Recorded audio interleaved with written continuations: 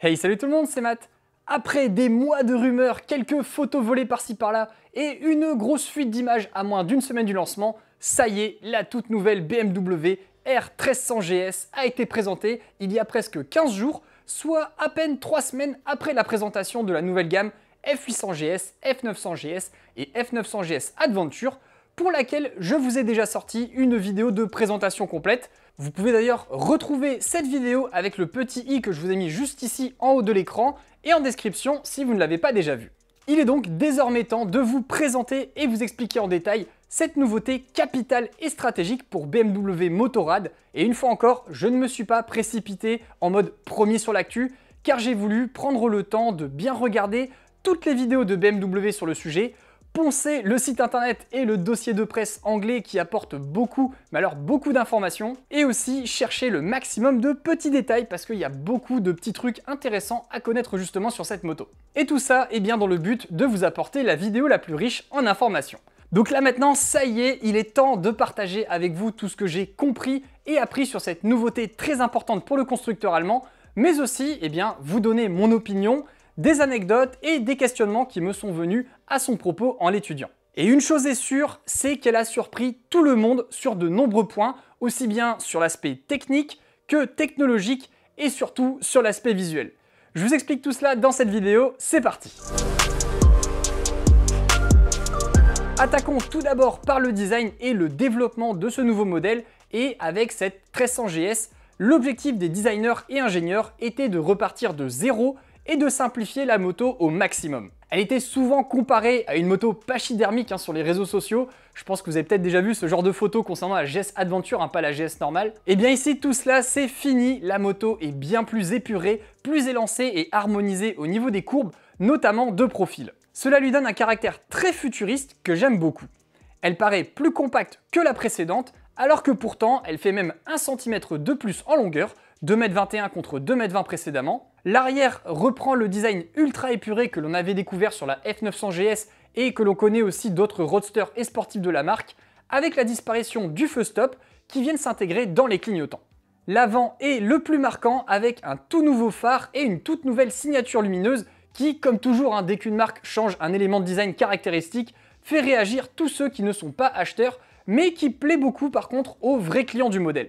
Il y a eu exactement la même chose lorsque BMW a sorti ses nouvelles gammes de voitures M Performance avec de nouvelles calandres assez larges. Cela a fait et fait toujours beaucoup polémique. Pourtant, BMW n'a jamais vendu autant de M Performance depuis ce nouveau design et signe d'ailleurs une année record en 2022, comme quoi ils savent très bien ce qu'ils font et cette audace stylistique semble largement plaire.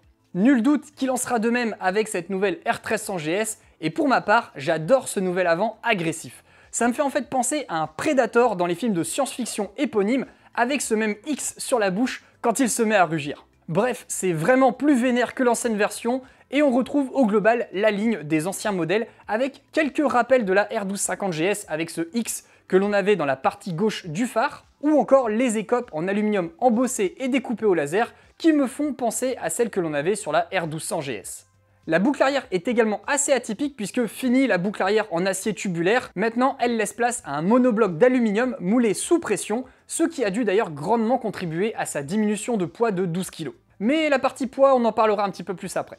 Toujours dans ce côté épuré et modulaire, les clignotants avant migrent dans les pare-mains sur les versions routières et restent par contre sur des tiges près des phares sur la version tout-terrain. J'ai fait le même type de changement sur ma Tiger 900 Valkyrie, donc je ne peux qu'approuver car cela allège vraiment visuellement la moto. Et pour ceux qui disent que c'est une mauvaise idée parce que ça va casser le clignotant en cas de chute, je pense franchement que vous n'avez jamais fait tomber une GS pour dire ça, car sinon vous sauriez que les pare-mains ne touchent pratiquement jamais le sol puisque le moteur Flat Twin empêche le guidon de toucher le sol sur une chute à l'arrêt notamment. Donc non, ce n'est pas une mauvaise idée d'avoir fait cela sur les versions routières, et cela reste bien sûr de part et d'autre du phare avant sur la version tout-terrain, afin de pouvoir monter des pare-mains plus robustes si on le souhaite. Dernier détail que j'ai repéré, c'est sur l'ajustement de la bulle. Certes, on peut désormais avoir une bulle réglable électriquement sur cette nouvelle 1300, mais comme vous vous en doutez, c'est une option. Et donc de série, on a une poignée qui auparavant était côté poignée d'accélérateur, ce qui n'était vraiment pas pratique à manipuler, surtout en roulant. Et là, maintenant, ça y est, ils se sont enfin décidés à la mettre à gauche, soit du bon côté. Ça va quand même être vachement plus pratique pour la monter et descendre lorsqu'on conduit. En résumé, vu de l'extérieur, la construction et l'ingénierie semblent très bien pensées et l'on a l'impression d'avoir une sorte de moto Lego et là aussi, c'est normal car le second gros objectif de cette refonte était de la rendre modulaire afin que chaque possesseur puisse facilement faire une R1300GS adaptée à son usage à l'aide de quelques modules, permettant ainsi d'en faire une moto plutôt axée tout-terrain, sportive ou alors touring. Et on reviendra là-dessus plus en détail avec les trois versions disponibles juste après. Donc voilà tout ce que je pouvais vous dire sur la partie design, conception et petits détails intéressants à signaler. Désormais, on va attaquer les caractéristiques techniques de cette 1300 GS car là aussi, il y a beaucoup beaucoup de changements puisqu'ils sont repartis de zéro. Et de ce fait, là-dessus aussi, il y a pas mal de choses à expliquer. Côté moteur et transmission, on retrouve toujours un boxer bicylindre flat twin qui, malgré les apparences, est un tout nouveau moteur. Ils ont globalement gardé la forme générale, mais le moteur est plus compact, plus léger. Ils ont d'ailleurs transféré la boîte de vitesse sur le dessous de la moto afin de le diminuer en largeur. Et j'ai aussi lu dans les informations techniques que les deux cylindres avaient été mis plus en avant sur le moteur afin de libérer plus de place au niveau des pieds et des chevilles. Donc ça devrait permettre de moins taper dedans quand on a les pieds qui glissent sur les repose-pieds par exemple. Je suis très curieux en tout cas de voir cela en vrai pour voir si cela se sent réellement à l'usage.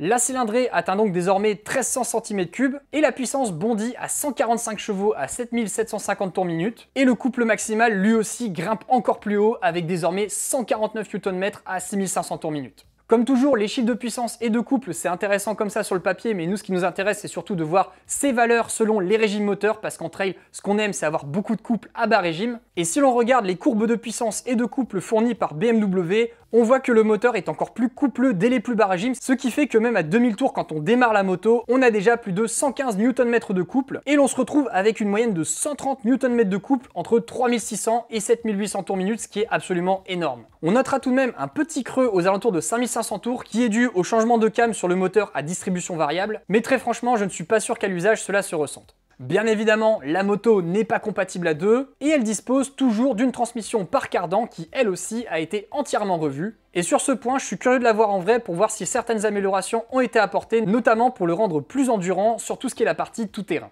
Pour ce qui est du châssis, comme je vous l'ai dit, là aussi pas mal de changements au niveau du cadre, avec un cadre principal toujours en acier dont le moteur est intégré en fonction porteuse, et sur la partie arrière, on a ce fameux cadre arrière boulonné en aluminium moulé sous pression. Et les roues par contre restent toujours en 19 pouces à l'avant et 17 pouces à l'arrière. De série, on aura des jantes en aluminium coulé tubeless et l'on aura la possibilité par les options de basculer vers des jantes à rayons tubeless ou même des jantes forgées, qui est une première chez BMW. On avait déjà vu ça chez Ducati avec la Multistrada V4S qui propose elle des jantes forgées de série. Et l'intérêt théorique de ces jantes forgées, c'est censé apporter les performances des jantes routières avec les performances des jantes à rayons tout-terrain. Par conséquent, on a des jantes qui sont 1,8 kg plus légères que les jantes d'origine, et normalement, elles sont censées être aussi robustes et flexibles que des jantes à rayons pour le tout-terrain. Donc très honnêtement, je suis assez curieux de constater cela à l'usage pour voir si c'est réellement aussi solide que des jantes à rayons. Mais ce qui est sûr, c'est que si par exemple vous allez plier le côté de la jante, il bah, faudra quand même changer toute la jante, alors que sur une jante à rayons, vous pouvez tout à fait ne changer que le cerclage en remettant le rayon par la suite. Donc peut-être que c'est aussi solide et flexible qu'une jante à rayons, mais en cas de casse, par contre, ça coûtera beaucoup plus cher à changer. Ensuite, pour ce qui est des pneus, on sera deux séries sur des Metzeler Tourance Next 2 qui sont de très bons pneus pour la route. Après, pour le tout-terrain, ce sont des 10% off-road, donc ça leur apporte juste un peu plus de résistance. Et vous pouvez, si vous le souhaitez, prendre en option les Metzeler Carou 4 qui sont vraiment surprenants dans le bon sens du terme, aussi bien en tout-terrain que sur route. Donc c'est totalement une monte pneumatique que vous pouvez envisager en option, je vous la conseille. Bon par contre malheureusement je suis un peu triste, j'espérais, je rêvais même que BMW nous propose sur la version GS Trophy, hein, la version tout-terrain, une moto avec une jante de 21 pouces à l'avant et une jante de 18 pouces à l'arrière, comme peuvent le faire par exemple Triumph avec la Tiger 1200 Rally et KTM avec la 1290 Super Adventure R. Mais malheureusement, il n'en est rien, hein. même la version GS Trophy sera proposée en jante de 19 pouces et 17 pouces. Bref, c'est tout, c'est comme ça. On va donc enchaîner sans transition sur la partie fourche et frein. Et là aussi, tout a été changé. Fini le télélever et le paralever. On passe maintenant sur le Evo télélever et le Evo paralever. Il y a ainsi eu des changements au niveau de l'angle de chasse, avec une moto un peu plus ouverte, ce qui devrait apporter plus de stabilité à haute vitesse en chemin. Le duo avant-arrière est également un peu plus rigide que le précédent système afin d'avoir un meilleur retour des informations de la route. Il a aussi été amélioré au niveau électronique avec de nouveaux réglages sur chaque mode de conduite ainsi qu'une gestion plus fine et en temps réel de la compression, de la détente et même désormais de la précharge si vous prenez la nouvelle option de suspension DSA, anciennement appelée ESA, et l'on retrouvera les mêmes débattements qu'auparavant, à savoir 190 mm à l'avant et 200 mm à l'arrière. Avec toutefois une petite nouveauté, puisque là on peut désormais prendre une option qui s'appelle la suspension sport, qui apporte 20 mm de débattement supplémentaire, portant la 1300 GS dans ce cas-là à 210 mm de débattement à l'avant et 220 mm à l'arrière. Enfin, et l'on aura terminé cette partie caractéristique technique de la 1300 GS, on va parler des dimensions et du poids. Et là-dessus, il y a aussi quelques changements vraiment intéressants à signaler. On va passer outre la partie longueur, empattement, largeur, hauteur, qui est globalement similaire à quelques centimètres près. Ça devrait changer des éléments au niveau du comportement de la moto, mais là, j'ai rien de plus à vous dire quand c'est sur du papier. Non, moi, ce qui m'intéresse, c'est surtout la hauteur de selle, puisque désormais, on est deux séries sur une hauteur de selle non réglable à 850 mm, et l'on pourra, en passant par la case des options, basculer sur une selle basse qui porte la moto dans ce cas à 830 mm de hauteur, ou une selle haute pour monter à 870 mm de hauteur Et là justement dans le tableau, vous devez sûrement voir une information juste à côté, est noté 820 mm correcteur d'assiette. Et eh bien qu'est-ce que c'est? C'est une nouveauté de chez BMW que l'on connaît déjà en termes de technologie puisque c'est apparu chez Harley Davidson avec la Pan America Special. C'est un système qui permet à l'amortisseur et à la fourche de baisser automatiquement en hauteur quand vous commencez à arriver à l'arrêt et la moto remonte ensuite petit à petit quand vous commencez à rouler. Et bien évidemment, vous pouvez si vous le souhaitez verrouiller la hauteur pour éviter que ça redescende comme ça si vous êtes en tout terrain, ça vous évitera si vous êtes en dessous d'un tronc d'arbre de vous retrouver avec les roues dans le ciel. Et concrètement, l'apport de ce correcteur d'assiette qui est disponible en option, hein, c'est pas fourni de série, c'est que cela permet à la moto de baisser de 30 mm quand vous arrivez à l'arrêt. Par conséquent, si vous êtes sur la hauteur d'origine, ça fait tomber la moto à 820 mm à l'arrêt, et si vous cumulez selle basse plus correcteur d'assiette, ça fait descendre la moto à seulement 80 cm de hauteur de selle, ce qui est vraiment bas pour une moto de ce type. C'est donc pour ça que vous n'avez plus l'option kit de rabaissement sur la 1300 GS comparée à la 1250 GS, car si vous souhaitez désormais avoir cette option kit de rabaissement, il suffira simplement de prendre le correcteur d'assiette, et franchement c'est le meilleur des mondes parce que comme ça vous avez une hauteur de selle qui est largement acceptable pour les gens qui sont pas très grands, mais en même temps vous ne détruisez pas votre garde au sol quand vous commencez à rouler parce que justement vous avez votre moto rabaissée. Là la moto elle s'occupe de remonter et descendre automatiquement, ce qui est vraiment intéressant et j'avais trouvé cette technologie vraiment pratique sur la Pan America. Donc je suis content de voir qu'elle débarque chez BMW.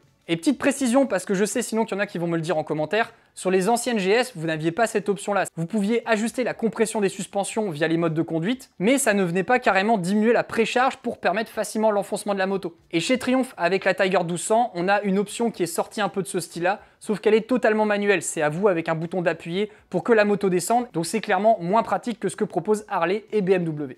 La garde au sol n'est quant à elle pas communiquée, ça aussi c'est bien dommage, donc ça il faudra que je le mesure par moi-même quand j'aurai la moto à laisser. Le réservoir bascule désormais à 19 litres, donc il perd tout de même 1 litre de contenance. La consommation de la moto d'ailleurs n'augmente pratiquement pas comparé au précédent modèle, alors qu'elle est plus puissante et plus coupleuse, donc ça c'est quand même un bon point. Et vraiment le gros point majeur à signaler sur cette partie dimension et poids, eh bien c'est le poids justement, puisqu'il passe désormais à 237 kg tout plein fait. La GS arrête donc enfin de grossir et retourne un peu au-dessous du poids de la 1200 de 2016 qui elle était à 238 kg tout plein fait, mais l'on n'atteint pas encore les 229 kg avec le plein du modèle 1200 de 2012, ce sera peut-être pour la prochaine qui sait. Et justement, je me suis amusé à comparer cette nouvelle 1300 GS à l'ancienne 1250 GS sur quelques caractéristiques, et on peut voir que globalement, il n'y a que du mieux. Hein. La puissance est augmentée à un régime équivalent, le couple augmente également de 6 Nm, mais par contre est disponible 250 tours minute plus haut, mais comme je vous ai montré sur la courbe de couple juste avant, ça ne devrait pas poser de problème. La chasse et l'angle de chasse changent légèrement, la hauteur de selle n'est donc plus réglable, le réservoir perd 1 litre et la consommation est vraiment très légèrement supérieure à la précédente, mais c'est vraiment négligeable. Autre petit détail, le guidon semble un peu plus large puisque la moto fait désormais 1 mètre de largeur avec le guidon contre 95 cm précédemment, ce qui devrait encore augmenter la maniabilité de la moto, mais par contre hein, en interfile ça va commencer à être assez large même sans valise. Abordons maintenant le sujet de l'équipement fourni de série sur cette 1300 GS et je pensais pas dire ça un jour, mais vraiment je trouve que cette 1300 GS en équipement de base, elle est bien équipée et elle offre plutôt un bon rapport équipement-prix. Autant je trouvais que la F900 GS n'était pas un bon rapport équipement-prix sur le modèle entrée de gamme et qu'il fallait nécessairement passer par la case des options, là vraiment sur le modèle entrée de gamme, vous avez une moto qui est déjà bien complète avec on va dire les essentiels de technologie que l'on attend sur une moto de ce tarif et de ce niveau de gamme. J'aurais juste bien aimé avoir un shifter de série à ce tarif comme ça peut être le cas chez les autres, mais il faudra passer par les options pour l'avoir. La moto est alors disponible dans un unique coloris blanc avec en termes d'équipement le phare matriciel LED qu'on a vu, donc il n'y a pas encore l'éclairage en courbe mais il y a déjà le phare LED, l'éclairage diurne en forme de X, les protège-mains avec les clignotants, le TFT, l'ABS, le traction control, 4 modes de conduite avec le mode éco, le mode rain, le mode road et l'enduro dès le début, donc ça c'est bien. L'aide au démarrage en côte, le régulateur de vitesse, le système de contrôle de pression des pneus, une batterie lithium dès le premier modèle, la technologie d'appel d'urgence intelligent en cas d'accident, le système de démarrage sans clé, les poignées chauffantes et enfin un compartiment de recharge pour smartphone en USB. Je n'ai malheureusement trouvé aucune photo ou vidéo de cet élément donc j'ai vraiment hâte de voir la moto en vrai pour voir quelle est la taille de ce compartiment. En tout cas je devrais pouvoir vous donner très bientôt plein de réponses sur tous ces éléments de détail où je n'ai pas encore de réponse car je vais normalement tester la R1300GS le 8 et 9 novembre donc attendez-vous à avoir un essai complet de cette 1300GS sur ma chaîne YouTube d'ici la fin du mois de novembre. Mais pour ça, pour pas le louper, il faut penser à s'abonner, donc vraiment n'hésitez pas à vous abonner à ma chaîne, c'est gratuit, vous avez le bouton juste en dessous de la vidéo. Donc vraiment n'hésitez pas à vous abonner si vous ne l'êtes pas déjà, c'est gratuit et ça m'aide énormément pour pouvoir continuer toutes ces vidéos. Donc allez-y, faites-vous plaisir Bref, ça fait quand même donc un équipement de série bien complet, surtout que la moto est proposée à 20 690 euros dans cette configuration, ce qui la rend étonnamment assez compétitive face à ses concurrentes. Après, c'est là où ça se complique un peu plus, puisque justement, en fonction de ce que vous voulez faire, vous allez avoir le choix entre trois versions. Vous pouvez ainsi vous faire soit une GS tout-terrain avec le pack GS Trophy, soit une GS plutôt typée Touring Sportive avec le modèle Triple Black, et enfin, vous avez la moto que j'appelle un petit peu la moto d'apparat, la moto vraiment qui sera la plus élégante et la plus précieuse avec la version option 719 Tramontana. Donc c'est pas la Triumph Tramontana, hein, ça n'a absolument rien à voir. Et chacune de ces versions auront un coût supplémentaire et elles incluront à chaque fois une peinture spécifique et des options pour les rendre vraiment adaptées à l'usage que je vous ai indiqué. Donc je ne vais pas rentrer dans le détail de toutes les options, mais vous voyez globalement, je vous ai vulgarisé et traduit tous les termes marketing en langage français, donc comme ça vous pouvez voir, vous faites pause sur la vidéo, afin de pouvoir lire en détail ce que chaque type de version apporte en supplément. Ensuite, une fois que vous avez choisi votre version, vous pouvez choisir des packs. Donc après, il y a des packs qui ne seront pas utiles sur votre version. Si vous avez déjà par exemple choisi la version triple black, vous n'aurez pas besoin de prendre le pack confort puisqu'il est déjà intégré dedans. Mais ce qui est sûr, c'est que si par exemple vous voulez avoir le shifter pro, la suspension super réglable avec le DSA, tous les modes de pilotage et des freins plus performants, il faudra passer par le pack dynamique. Si vous souhaitez avoir les toutes dernières technologies pour moto, il faudra passer par le pack innovation, puisque ce dernier intègre ce qu'on appelle le Riding Assistant. C'est en fait un régulateur de vitesse adaptatif comme sur votre voiture. vous pouvez comme ça régler la distance par rapport au véhicule qui est devant vous et la moto va en fait freiner pour ajuster constamment sa vitesse selon la distance que vous avez calibrée. Vous aurez également les détecteurs d'angle mort dans les rétroviseurs et la moto sera même capable de faire un freinage d'urgence automatique si vous ne freinez pas assez et qu'il y a un obstacle devant vous. Donc une fois encore, BMW n'est pas le premier à arriver sur ce chapitre de la technologie, puisque tout ce qui est régulateur de vitesse adaptatif, freinage d'urgence, détecteur d'angle mort, on a déjà découvert ça sur les Ducati Multistrada, sur les Triumph Tiger 1200, ou encore les KTM 1290 Adventure. Mais c'est intéressant de voir que la 1300 GS se met à niveau technologiquement par rapport à ses concurrentes. Enfin, si vous souhaitez également profiter de l'éclairage en virage, ce sera via ce pack Innovation qui vous permettra d'avoir le feu de route pro et vous aurez comme ça ainsi un meilleur cône d'éclairage lorsque vous penchez avec la machine. Bon, je vais pas passer tous les packs en détail, mais après voilà, vous avez le pack premium pour tout ce qui est sel, alarme feu additionnel, le pack touring pour préparer la moto afin d'avoir les valises et le top case Vario de BMW qui là aussi font un bond en avant et franchement limite on dirait des coffres de bagnole. Et je dis ça sérieusement, hein, c'est parce que là je sais pas si vous avez vu mais maintenant le top case il a carrément un petit éclairage à l'intérieur et une prise USB pour pouvoir charger vos accessoires. Pareil pour les valises latérales, on aura la petite lumière avec l'alimentation USB et le tout est automatiquement verrouillé par le keyless ride. Donc en gros, vous vous approchez des valises et du top case, et eh bien il s'ouvre tout seul, donc vous pouvez juste appuyer sur les boutons, il n'y a pas besoin de mettre de clé ou quoi que ce soit. Et si vous vous éloignez, il se reverrouille automatiquement. Non, vraiment là, on atteint le niveau bagnole, hein, on va pas se le cacher. Et enfin, on aura le pack Enduro Pro qui est vraiment très pertinent à prendre si justement vous partez sur la version GS Trophy, puisque cela apportera pas mal d'éléments bien utiles pour pouvoir rouler en tout terrain. Donc voilà pour la partie pack, je pense que c'est assez clair, mais si vous avez envie de prendre plusieurs packs, sachez également qu'il y a des finitions. Et ces finitions, qu'est-ce qu'elles font? Elles regroupent plusieurs packs dans un seul achat, et ça vous permet de faire des économies si vous comptiez justement acheter plusieurs de ces packs. On a ainsi trois finitions, la Enduro Pro, la Original et la Pro. Donc à vous de voir, mais si par exemple vous aviez prévu de prendre le Touring, le Dynamique, l'Innovation et le Premium, bah prenez la finition Pro, ça vous fera quand même gagner 400 euros. Bon, maintenant, je pense que c'est super clair pour vous. J'ai essayé de vulgariser au maximum tous ces systèmes de packs et d'options chez BMW parce que l'air de rien, c'est vraiment la moto avec le plus d'options que j'ai jamais vu et je pense que c'était vraiment important de vous expliquer comment ça marchait pour que vous puissiez, si vous avez envie de vous commander une 1300 GS, et bien de vous créer vraiment la bonne moto pour votre usage parce qu'il n'y a pas forcément besoin de prendre tout et n'importe quoi, je pense.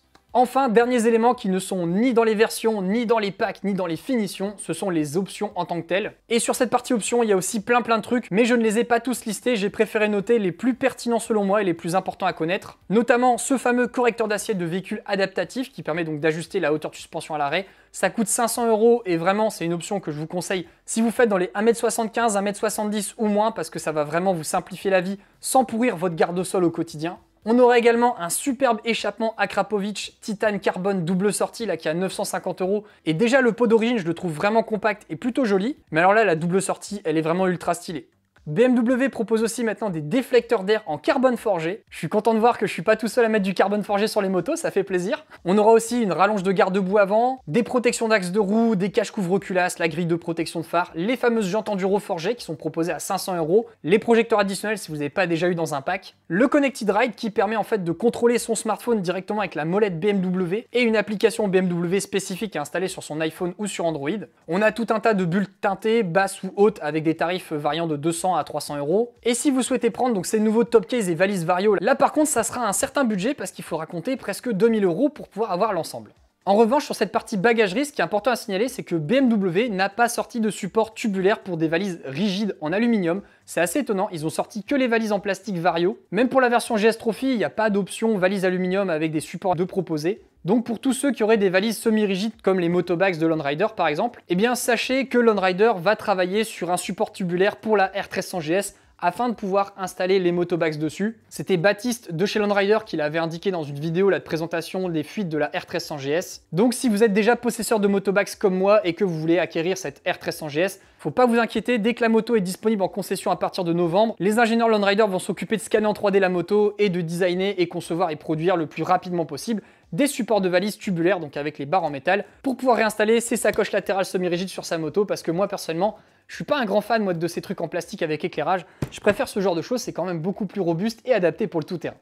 Donc on l'a vu, le prix d'appel de cette nouvelle GS c'est 20 690 euros. Mais dans la réalité, qu'est-ce que vont faire les clients, je pense? Eh bien, ils vont probablement partir sur le modèle Triple Black, qui est déjà le modèle actuellement le plus vendu chez BMW en termes de coloris. Donc ça va faire monter la facture de 850 euros. Et ils vont sûrement se prendre à minima la finition pro pour avoir le pack dynamique, le pack touring, le pack innovation et le pack premium, ce qui rajoute là 4300 euros. Donc le prix réel de cette nouvelle R1300 GS, c'est plutôt à partir de 25 840 euros. C'est plus cher que le précédent modèle, mais elle est aussi plus équipée, plus technologique et plus travaillée au niveau ingénierie et légèreté. Et pour le délire, j'ai essayé de me faire une version option 719 Tramontana avec plein d'options qui sont quand même pertinentes, hein. j'ai pas tout pris tout et n'importe quoi, afin de vraiment faire le modèle top du top super haut de gamme de BMW. Et l'on arrive à passer le cap des 30 000 euros. Parce que oui, à ce prix de 30 500 euros, j'ai pas encore mis les valises latérales et top case Varios. Parce que sinon, dans ce cas-là, on serait arrivé à plus de 32 000 euros. Donc oui, je pense qu'on peut le dire, un BMW a repris sa position de leader dans le domaine du premium en proposant à nouveau le trail de gros cylindrée le plus cher. Et il repasse ainsi devant Ducati avec sa Multistrada V4S qui avait déjà réussi à tutoyer les 30 000 euros avec son modèle V4S full avec donc l'option radar et bagagerie incluse. Et ça me permet justement d'enchaîner avec la dernière partie de cette vidéo, c'est le comparatif avec la concurrence actuelle. Personnellement, je pense que la R1300 GS devra faire face à quatre grosses concurrentes. La plus grosse concurrente dans le domaine du premium, ce sera la Ducati Multistrada V4S, qui est proposée sur des tranches tarifaires assez similaires, hein, entre 24 000 et 29 540 euros. À la différence près tout de même que à 29 540 euros, vous avez vraiment la version toute option chez Ducati et les valises latérales sont intégrées à ce tarif. On aura également la Tiger 1200 GT ou Rallye en fonction de vos appétences plutôt tout-terrain ou routière, la 1290 Super Adventure S et enfin la Harley Davidson Pan America Special. Et comme vous pouvez le voir, on constate que cette nouvelle 1300 GS se positionne très bien en rapport poids-performance avec ses 237 kg, bah, elle fait partie des plus légères avec la KTM 1290 Super Adventure S. Sauf que à poids équivalent, la GS a un cardant contrairement à la KTM qui a une chaîne, donc ça montre vraiment la légèreté entre guillemets de cette moto par rapport aux autres. Niveau performance, ce n'est pas la plus puissante, hein, c'est même la moins puissante de toutes. Elle n'est que là aussi entre guillemets à 145 chevaux contre 170 chevaux pour la Multistrada ou une moyenne de 150-160 chevaux pour les autres. Mais par contre, côté couple, c'était déjà la leader précédemment, et là, bah, elle monte encore un cran au-dessus, avec presque 150 Nm, alors que tous les autres plafonnent maximum à 130-140 Nm. Elle peut donc garder sa réputation de gros tracteur en tout terrain, et sur route, ça va sûrement bien arracher les bras. Ce qui est sûr, c'est que si vous voulez une moto à cardan, bah, il n'y a plus grand chose de possible sur le marché, à part cette 1300 GS et la Tiger 1200. Sinon, eh bien, pour tous les autres, ce sera forcément un modèle par chaîne. Donc voilà tout ce qu'il y avait à savoir sur cette R1300 GS. Maintenant, on attend la R1300 GS Adventure qui devrait sûrement débarquer dans les mois à venir. Cela s'était passé en fait comme ça à l'époque de la R1250 GS qui était présentée en septembre 2018 et la R1250 GS Adventure était présentée deux mois plus tard en novembre 2018. Est-ce que l'on aura la même chose ici? Eh bien nous le saurons le mois prochain. Voilà, c'est tout ce que je souhaitais vous présenter sur cette nouvelle BMW R1300 GS. J'espère que la vidéo vous a plu, qu'elle a répondu à toutes vos questions. Moi, j'y ai passé pas mal de temps. Ça a été près d'une vingtaine d'heures de préparation juste pour pouvoir tourner cette vidéo. Après, bah, bien évidemment, il y a eu le tournage et le montage qui m'aura pris à peu près le même temps. Mais je voulais vraiment faire une vidéo super complète sur le sujet parce que c'est une moto qui est hyper importante pour beaucoup de gens. Je sais que c'est une nouveauté très attendue sur laquelle il y a beaucoup de questions. Donc voilà, je voulais vraiment prendre le temps de tout vous expliquer. Comme ça, eh bien, vous êtes pratiquement incollable sur le sujet avant de pouvoir l'essayer ou alors de la posséder puisque normalement, elle débarque en concession à partir de novembre. Ce qui fait qu'on aura les premiers possesseurs d'ici fin novembre et aussi les premiers essais en concession sur la même période. J'espère en tout cas que la vidéo vous a plu, si c'est le cas n'hésitez pas à mettre un petit pouce vers le haut, ça fait toujours plaisir. N'hésitez pas, je le redis, mais à vous abonner à cette chaîne YouTube. Il faut savoir qu'il y a plus de 60% des gens qui regardent mes vidéos qui ne sont pas abonnés. Je vous propose chaque semaine une à deux vidéos sur tout un tas de sujets relatifs au domaine du trail. Donc si vous aimez bien la moto trail ou encore le matériel aventure, n'hésitez pas à vous abonner. Comme ça, si on arrive à 70 000 abonnés avant la fin de l'année, ce serait vraiment trop la classe. Donc voilà, je vous mets le bouton juste ici, faites-vous plaisir. N'hésitez pas également à regarder ma vidéo de présentation de la F900GS qui est juste ici en dessous. Je vous mets aussi le bouton rejoindre juste ici, ça vous permet comme ça de me soutenir financièrement pour le prix d'un café par mois et d'accéder à un live privé que je fais chaque fin de mois. Et sur ce, je retourne bosser parce qu'il y a plein de nouveautés trail en ce moment, donc j'ai encore pas mal de vidéos à vous faire. Donc je vous dis à bientôt, salut